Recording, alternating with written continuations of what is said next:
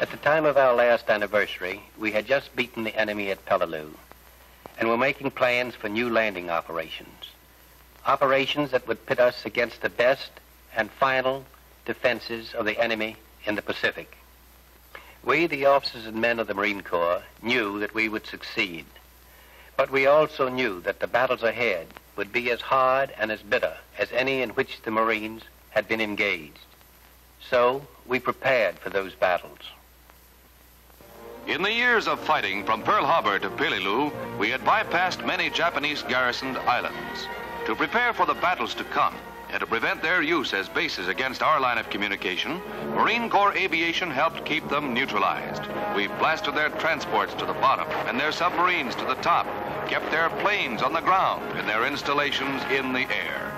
We kept constant police over dozens of sidetracked rat holes in the Solomons and the Carolines, in the Marshalls and the Marianas, feeding them a steady diet of concussion and short rations while we made ready our Sunday punch.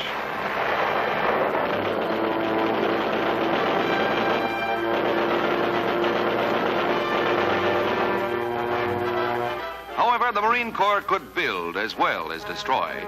On the repatriated American island of Guam, ravaged by 2,000 Guamanians, loyal American nationals had to be given emergency relief from epidemic, starvation, and exposure. For rebuilding the people was our first step in rebuilding Guam.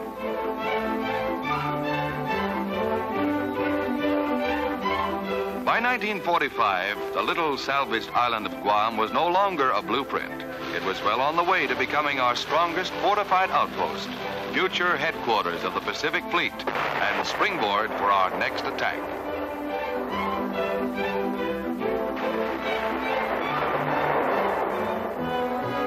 The Marine Corps helped put the Army's B-29s on Guam, and the B-29s put Guam only a handful of air hours from Tokyo.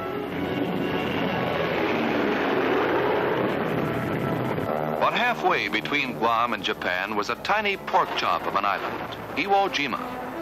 As a Japanese air base, it was a menace to our B-29s. To make it an American air base was the mission of the 5th Amphibious Corps, the 3rd, 4th, and 5th Marine Divisions. The fleet poured it on, and we stood off, waiting for the bombardment to lift. Our landing craft went in under direct observation from grim Mount Suribachi, an extinct volcano that commanded the landing area. They could practically read our dog tags coming in, but we kept coming.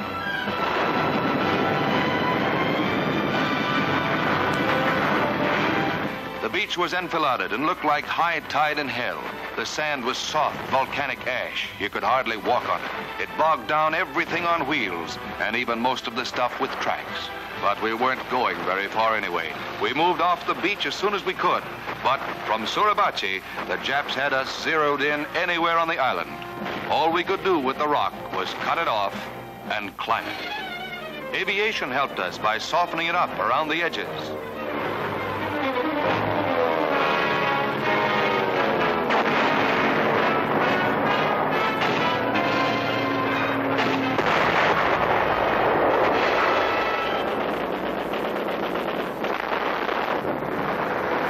To us, putting the flag on Suribachi meant mostly that the Japs had lost their main observation post.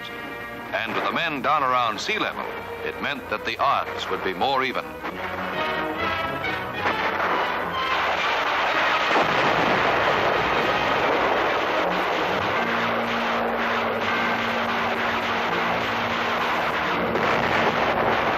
But there were a couple of airfields to take, and quite a few thousand Japs didn't want us to take them. They were dug in, and we had to dig them out. We used everything in the book, and then threw the book at them. The Japanese were cagey. They didn't waste their strength in suicide tactics, spectacular banzai charges. They held their ground and died hard.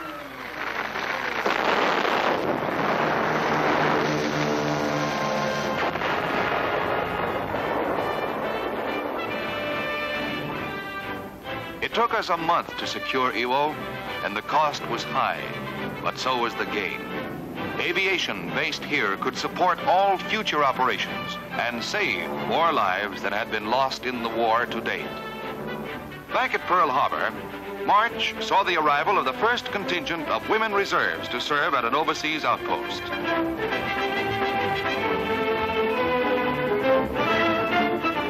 Girls, all volunteers for duty outside the continental limits of the United States, were assigned to replace men eligible for service in the line or for stateside rotation. On April 1st, while Iwo Jima was still cooling off, we got orders to go into Okinawa with the 10th Army. This one was only 400 miles from the Japanese mainland, and the job went to the 3rd Phib Corps, the 1st, 2nd, and 6th Marine Divisions. After Iwo, we expected another hot beach, but Okinawa was like throwing your weight against a door that wasn't locked. There were some snipers and a little rear guard action, but the Japs were apparently pulling us in, setting us up. We knew that, but we had to find them to prove it.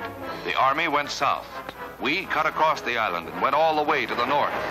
When the Army ran into the main Japanese force in the lower third of Okinawa, we went down there to support them.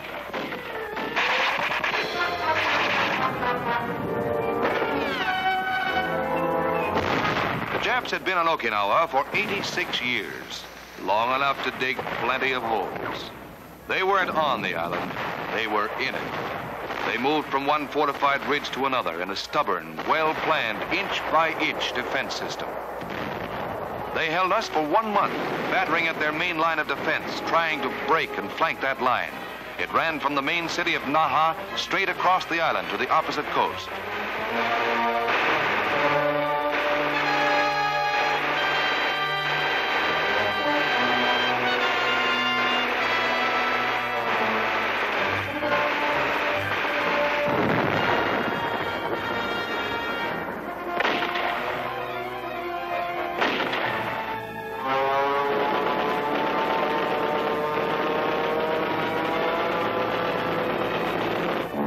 Finally broke the line into pockets.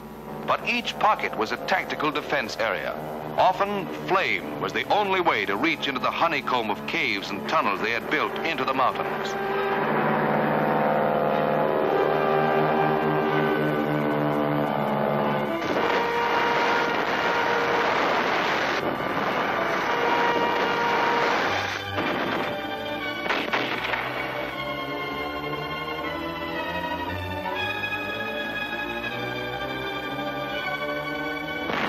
Even after we had secured the Marine Corps sector, and that had taken us almost two and a half months, we still had the deadly business of mopping up to do.